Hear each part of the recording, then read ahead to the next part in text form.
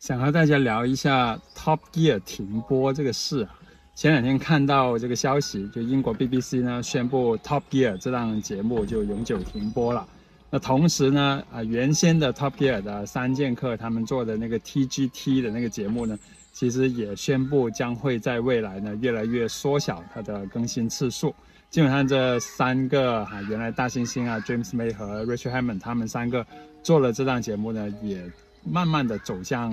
应该说衰落了哈，啊，为什么是这个样子呢？我当时就发了一个微博，有感而发嘛。我我的意思就是说，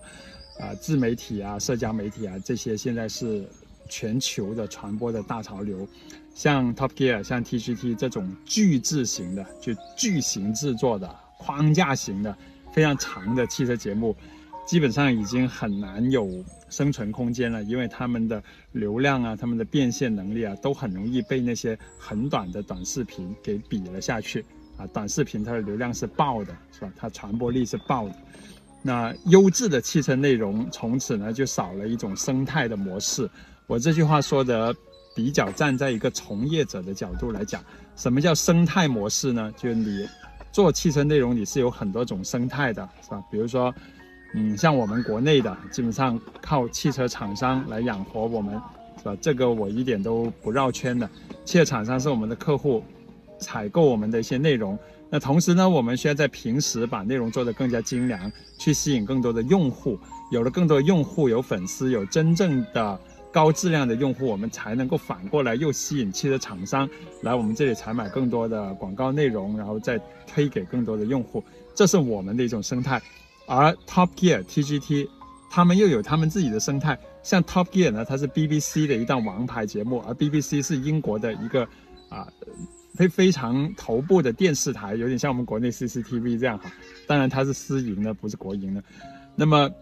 BBC 是个电视台，它做的节目，它要的是收视，只要它收视高了，它整个台的广告经营、广告售卖就会做得更好。同时呢，它做出来 Top Gear 这档节目呢，它也可以向全球的其他世界各地的电视台去售卖版权，因为他们是英文节目嘛，英文节目相对来讲，在全球只要是说英文的国家，都很容易能够卖得出去这个节目啊。同时，Top Gear 本身它还授权给了全球很多非英语的一些国家，也会购买 Top Gear 的版权来拍摄他们当地的 Top Gear。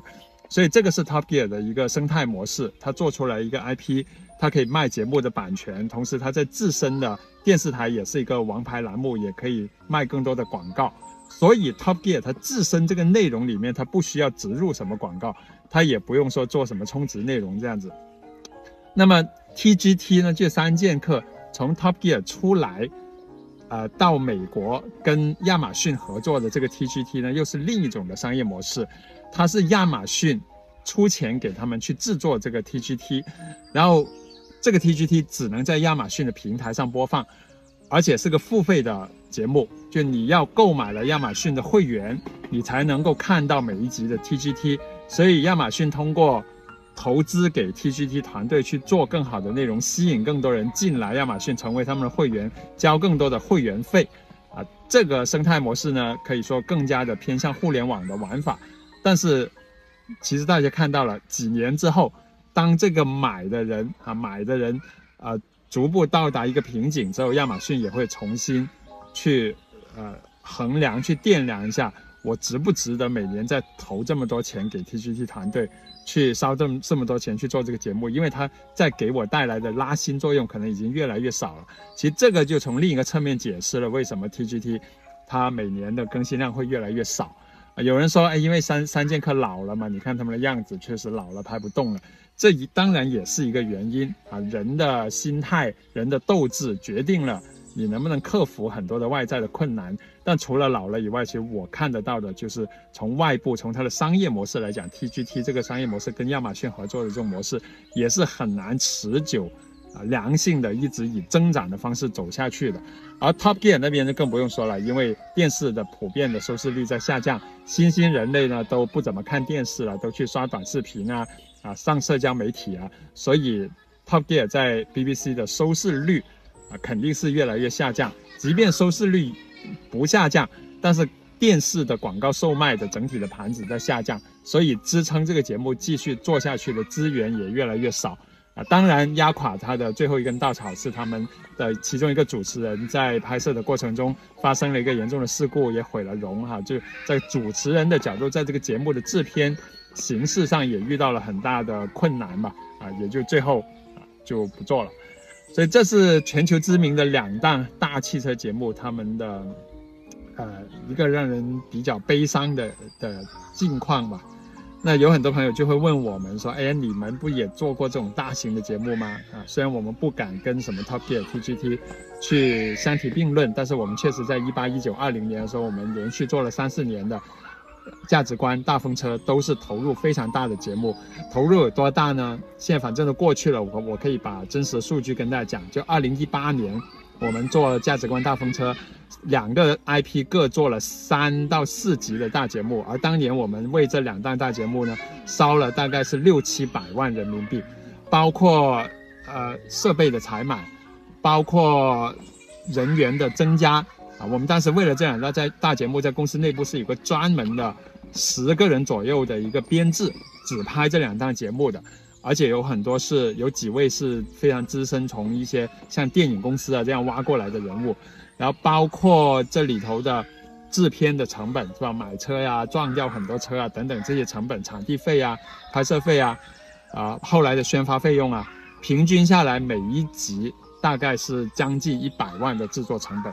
一集一百万，我们一年拍了六六集吧，哈，啊，有些分小集，但总总体上每一个选题就是一百万的制作成本，说起来有点唬人，但是我们后来算一算，还真的有花这个数。那到第二年、第三年呢，我们。有一部分的商业化，就有一些选题是能够跟厂家合作，能卖出去的，但是商业化只占到我们整个全年的所有节目的制作成本的一半左右，就能回一半本，但是根本回不了全本，啊，然后在二零二一啊，后来就疫情来了，啊，其实疫情之前我们已已经全球化的踩点，其实我们这个节目从来没有想过要停的，啊，继续全球化踩点，继续投入。累计我们在价值观大风车这两个 IP 上投入了，肯定有千一千多万，两千万可能没有，一千多万吧，哈。那后来疫情过后，确实或者疫情期间我们就停了，因为拍这种大制作要涉及到非常非常严谨的，比如说踩点啊、拍摄的场地安排啊、流程安排、人员安排啊、各种的资源啊。那在疫情期间，我们实在是没法拍，嗯，因为。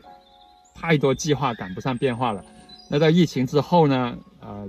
现在我们这个团队也会经常拍一些自己觉得有情怀，啊，自己觉得高水准的制作，但是我们没有把它放到价值观和大风车这两个 IP 里头，因为我们觉得真要达到价值观、大风车这两个 IP 的名号的话，我们还要更大的投入，更多的时间精力要放进去，但是。恰恰这两三年吧，大家也都看到哈，中国整个汽车行业往这个智能电动车方向去卷啊，那我们也不能让自己在这个新新一波的潮流里头去掉队，所以我们的团队呢，用很多能力去做新能源车、做智能车，确实这个也不瞒大家，是吧？做情怀的节目要投入很多，那这边做大趋势的节目，我们觉得也是不能不做，也。不能掉队，是吧？毕竟我们不是一个死抱着情怀，只靠情怀来吃饭，情怀事实上也吃不了饭。我们还是要向前看，还是要跟上大潮流。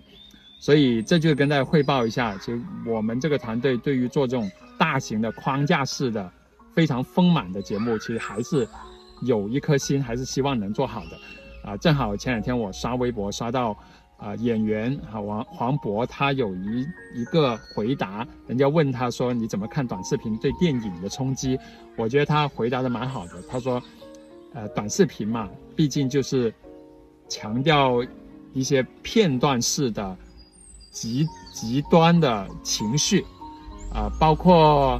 一些可能非常夸张的表达，因为。在这么短的时间内，你只有把这些最极端的东西提取出来，才能够给人深刻的印象，才能够形成冲击、形成传播。但是电影呢，这种这么长的载体呢，